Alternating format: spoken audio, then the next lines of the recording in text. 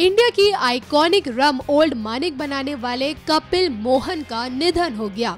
शनिवार को जानी मानी रम ओल्ड मंग के चेयरमैन कपिल मोहन का दिल का दौरा पड़ने से निधन हो गया। अठासी साल के कपिल मोहन लंबे वक्त से बीमार चल रहे थे।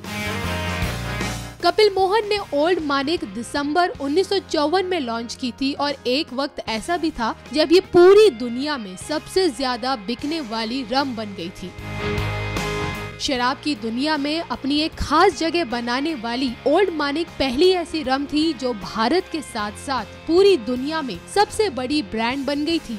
इसकी लोकप्रियता के पीछे एक बड़ा कारण ये भी था कि ये स्वाद और क्वालिटी में जितनी अच्छी थी, उतनी ही सस्ती, जिसकी वजह से ये हमेशा लोगों की पसंदीदा शराब बनी रही।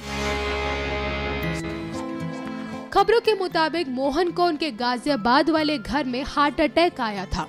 कपिल मोहन पहले आर्मी में थे, वे ब्रिगेडियर रहते हुए रिटायर हुए थे। उन्हें 2010 में पद्मश्री पुरस्कार से भी नवाजा गया। 2015 में सोशल मीडिया पर अफवाह उड़ी कि कंपनी ओल्ड मंग को बंद करने वाली है। हालाँकि तब मोहन ने खुद ही सामने आकर कहा था कि ऐसा कुछ नहीं होने जा रहा है। न्यूज़ एक्सप्रेस की रिपोर्ट।